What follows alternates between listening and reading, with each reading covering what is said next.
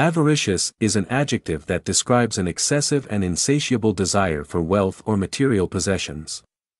A person who is avaricious is characterized by an intense greed for accumulating and hoarding wealth, often at the expense of ethical considerations or the well-being of others.